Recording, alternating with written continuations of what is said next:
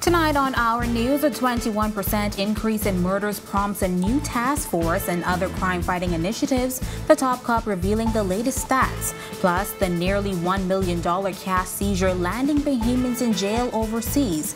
And later, delivering on a dream. The story of one Bahamian woman helping at risk and foster children realize their dreams.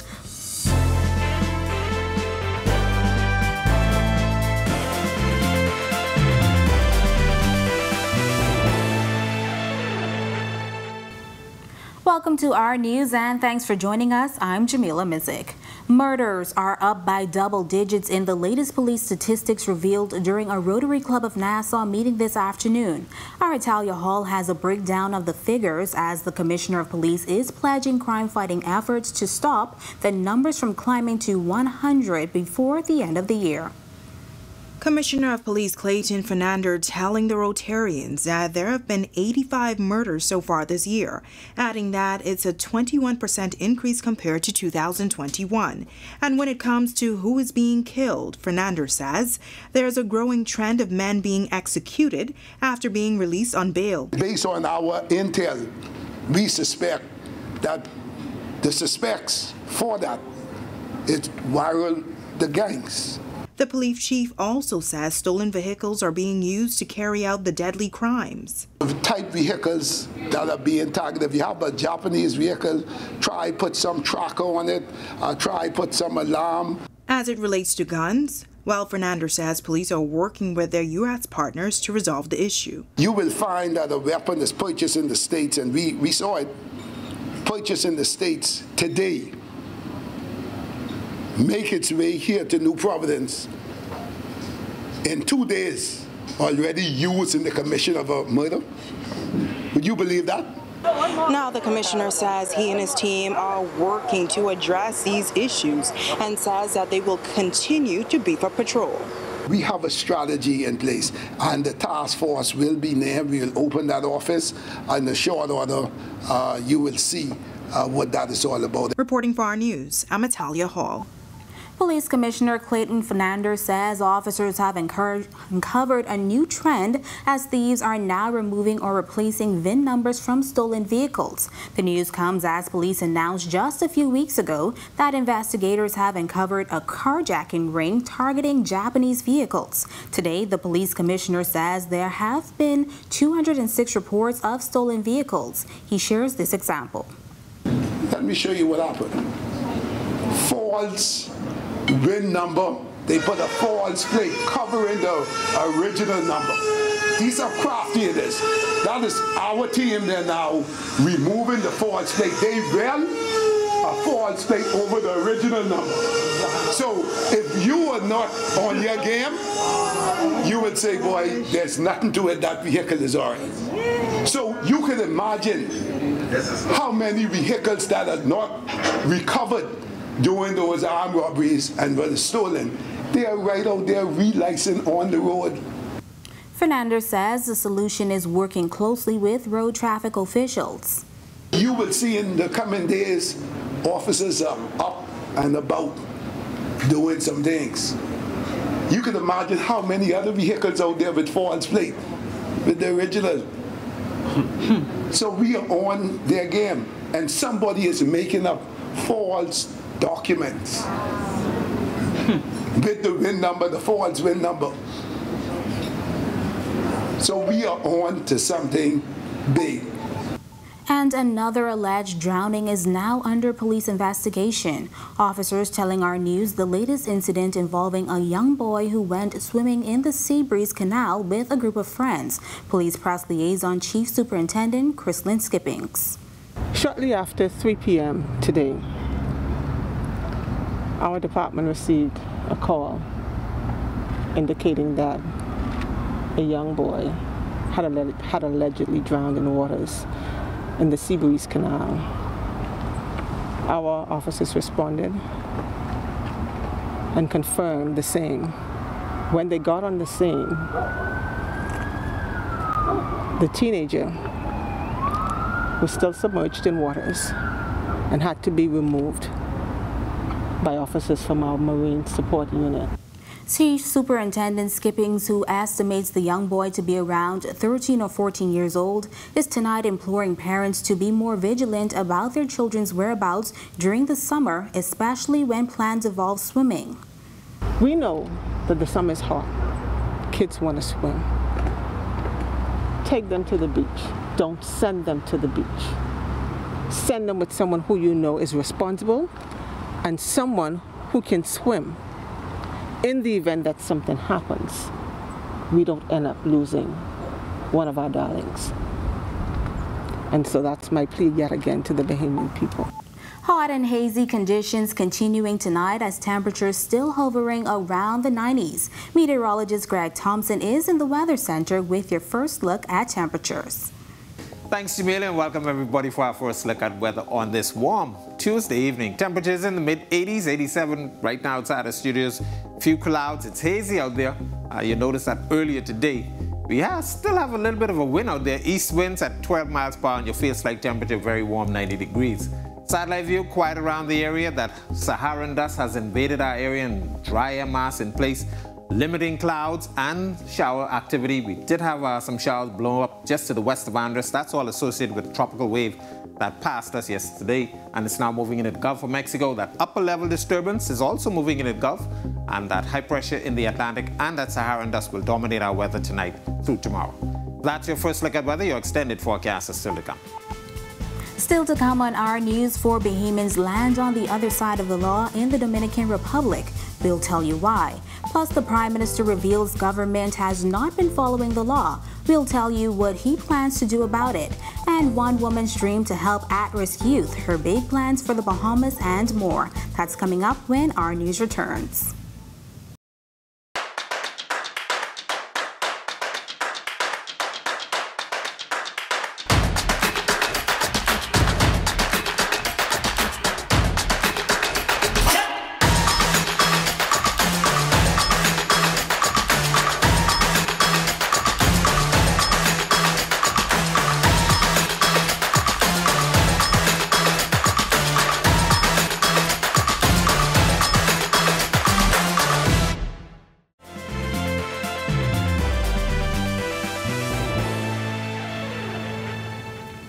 Foreign Affairs Minister Fred Mitchell confirming that four Bahamian men are among five people reportedly arrested in the Dominican Republic. The Dirección General de Aduanas website reporting a plane was piloted by two Bahamians and had five passengers on board.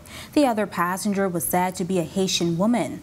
The website also reporting that nearly $880,000 was seized. Minister Mitchell says officials are on the ground investigating.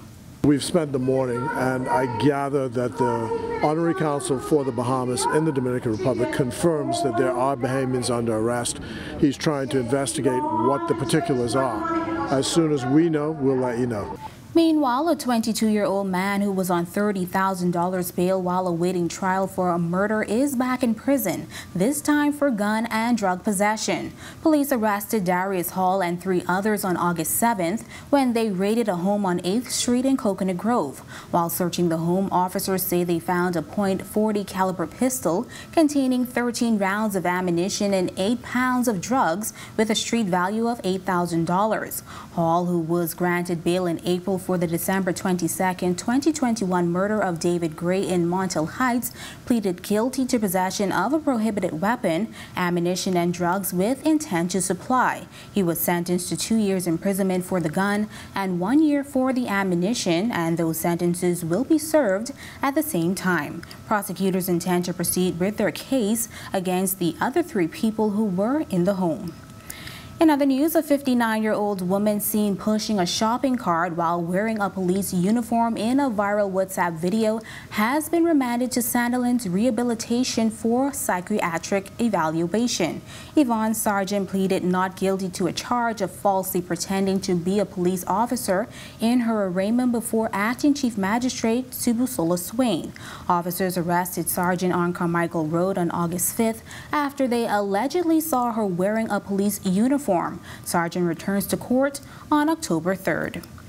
And tragic news coming out of Grand Bahama today as another portion of the International Bazaar went up in flames this morning. The latest blaze is the latest in a string of fires to tear through the International Bazaar in recent months. Italia Hall has the details. Was early Tuesday morning that our newsroom received reports of another fire in the International Bazaar located in Freeport.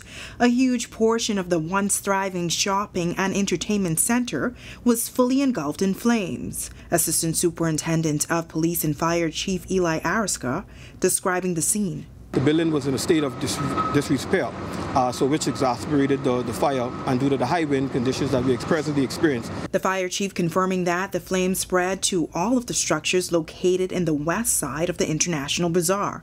And as for what may have caused the fire. Now, we know that uh, in past incidents, we had persons who would have come in the area because of the dilapidation and persons not being in the area, they would use it as means to now light copper away from the view of the, the public. So we're, we're, we're, continuing leads in this, in this matter this time. Ricardo Dean owns a wood carving business in the bazaar.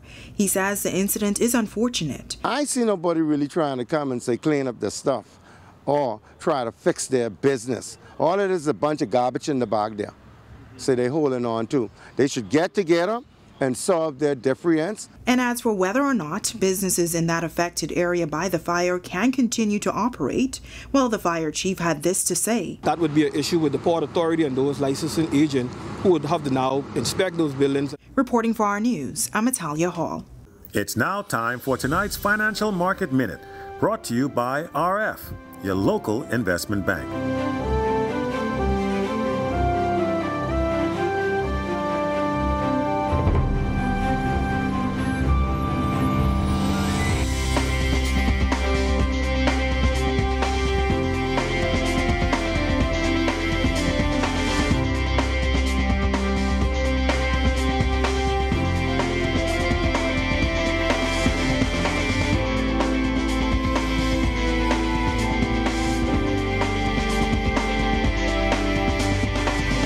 This has been your Financial Market Minute.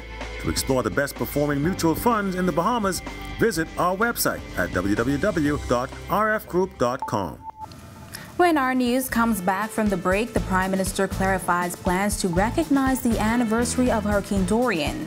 Plus, coming up in sports for tonight, Jonquel Jones and the Connecticut Sun look to return to their winning ways as the regular season winds down.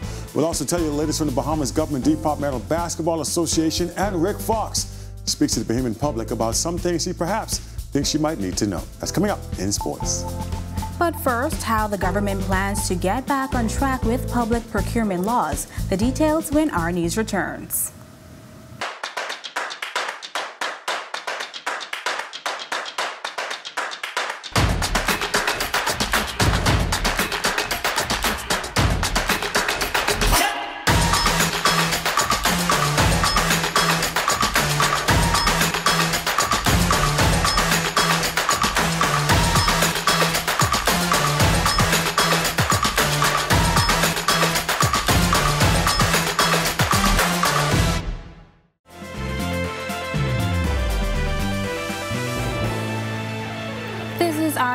Welcome back. Prime Minister Philip Davis says his government has failed to follow public procurement laws that were passed and enacted under the former administration. But now he's saying government plans to bring amendments soon. Bethany McDermott reports. Not workable is how Prime Minister Philip Davis is describing the public procurement bill that was passed under the former Minnis administration.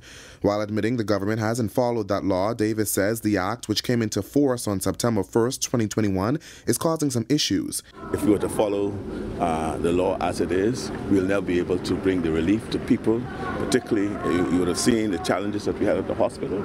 If we were to follow that, we'd probably still be in the portals trying to address the issues. The legislation, among other things, is crafted to provide transparency when it comes to how government ministries, departments, and other agencies enter contracts and expend public money. The Act states that publication of procurement notes should be published in the Gazette or in one or more newspapers of wide circulation. Davis says the law doesn't allow for a quick reaction. We are an archipelago, and so whatever construct we have has to take into account our peculiar and particular circumstance. We have to be able to respond to the needs of our people almost immediately in some instances. While he supported the legislation in opposition, the PM committed to amending the legislation when they came into office, but that didn't happen. The Prime Minister says there is a more important question to be asked. One of the questions that you should be asking, and you should be asking that of the other side, is why would you have passed the bill in, in, when was it, in April, early in the year, and not put it, have it in effect until September? Why would they? Because they understood what they were doing was not workable. Now, according to the Prime Minister, the plan is to make amendments to that piece of legislation as soon as Parliament returns in September. Reporting for Our News, I'm Bethany McDermott. Meanwhile, the Prime Minister clarifying the announcement of a celebration to commemorate the three-year anniversary of Hurricane Dorian. Last week, Press Secretary in the Office of the Prime Minister, Clint Watson, told reporters the events will culminate with a concert featuring Grammy Award-winning artist CeCe Winans. Following that, the opposition claimed it was unclear about how the events would unfold. Today, the Prime Minister giving more details. It is not just a Nassau-centric matter. I think it's just that there's a headliner that wanted to come to do a pro, and they're coming to do a concert, and so he just, since they're here, he's just going to tie that event into what has been happening during that time. Because we are commemorating um, the, the Dorian, celebrating a Dorian thing, he just thought it fitting to perhaps tie that into it. The Prime Minister says Watson will provide more clarity at the next press briefing. While in opposition, the Progressive Liberal Party was critical of the Minnis administration's handling of the Dorian aftermath. Today, Davis explaining what his government has done to assist Dorian survivors. First of all, we've kept our social services program up by uh, providing assistance.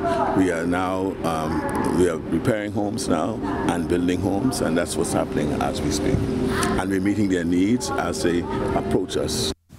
The Bahamas claims gold at the World Juniors as Antoine Andrews gets it done in the 110 hurdles. Also, the Summer of Thunder basketball event continues at Kendall Isaacs Gym. Here's Marcellus Hall.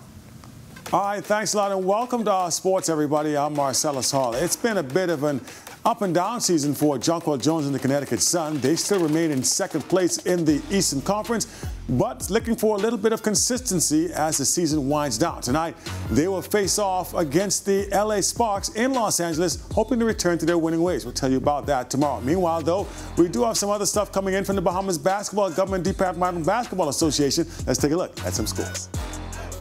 Bahamas Government Departmental Basketball Association with action last night over at the Air Valley Gym. Taking a look at your scoreboard in from last night. Beat and Teach Clinic Sharks. They took on the BDOC squad and it was BDOC getting the win. Bahamas Department of Corrections, 76 to 71. Shaquille Brown, uh, he had 24 points in losing effort. Meanwhile, Cameron Cherry had 23 points. That came in the win for BDOC. Defense Force Mariners and the Panthers playing in the feature. Panthers rolling to the win. 100 to 82 ends up being your final score as Kamsi Silvestri led the winning charge with 33 points. Elway Pickstock, he had 31. That came in a losing cause for the Mariners. Action does continue later on this week. Meanwhile, Rick Fox, former LA Laker champion, and of course, former Boston Celtic back in the day, in town these days. And, well, had a little bit of an interview with one of our local reporters and had some interesting things to say about his career and things he's wanted to accomplish around home. As I see it is not only to continue to shine a light on those that are out there already uh, in the world representing all of us, which is a possibility, uh, giving our young men and women an example of what is possible.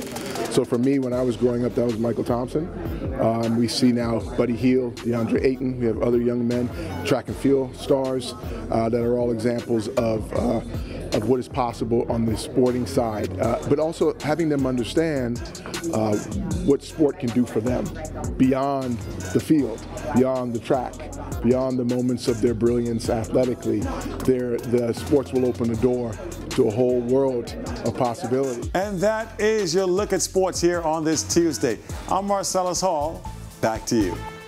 Still ahead on our news tonight, a Los Angeles-based foundation delivers on a dream in the Bahamas. Plus, Greg is back in the Weather Center with a look ahead. That's coming up when our news returns.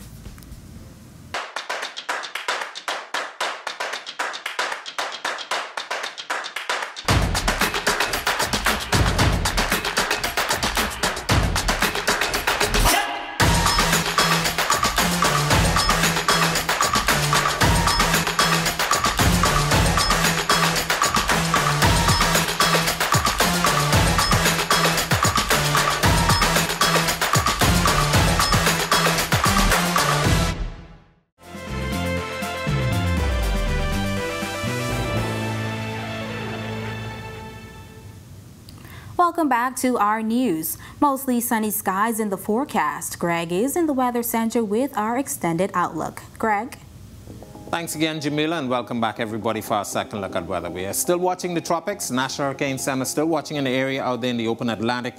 Uh, last evening was up to 40% chance for formation. It's now down to 30% low chance for formation over the next five days as it continues to move towards the west, being steered by an Atlantic high pressure system. A lot of dry air mass and Saharan dust to the north of that will keep this system at bay. Eventually, the high is going to back out towards the east. That will allow the system to turn more towards the uh, northwest and we're going to continue to watch this. It should get near the uh, northern portion of the Leeward Islands by the end of the week. And as I mentioned, some upper level shearing and some dry Saharan dust will continue to inhibit development of the system over the next couple of days.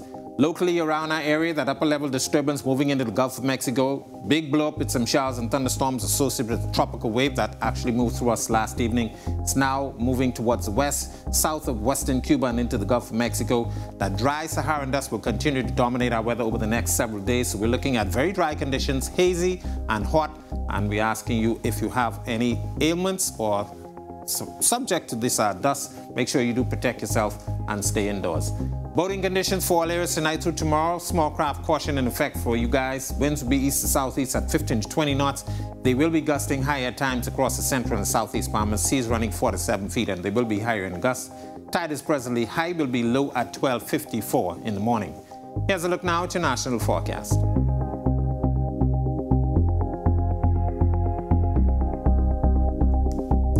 In your seven-day forecast, no real change in the forecast. Dry conditions, maybe a stray shower or two in the forecast, but that Saharan dust will continue to be with us for at least Thursday before things clear up. We should see an uptick in some showers and some thunderstorm activity by the weekend. That's a look at our weather. Make it a safe evening, everybody. In our final story tonight, one young woman is delivering on a dream to help at-risk and foster children know they are not alone. Founder of the Dream North Foundation, Nicole Lene, is bringing her vision to life this week with a literary arts tour and full day of activities for children living in foster homes in the Bahamas. Lene says she is excited to work with the children in the Bahamas and help to make their dreams come true with a day of painting, activities, and reading get free gifts. I shipped all these gifts out here from the United States. So we'll be working together as a team and organizing all their gifts and then we'll deliver the other gifts um, to the children who will be off-site at visits. I'll go visit a few of those homes as well. It's, it's just a fun day that we just want to encourage them to read and to write and to be creative and to just meet one another, the children from different homes and just know that they're not alone. Storytime with Dream North and Friends kicks off this Thursday at the Atlantis Resort. For more stories like this and all of today's top stories, visit our News Bahamas on Facebook. And thank you for joining us for our news tonight. On behalf of the entire team, I'm Jamila Mizik. We'll see you right back here tomorrow night. Have a beautiful evening, Bahamas.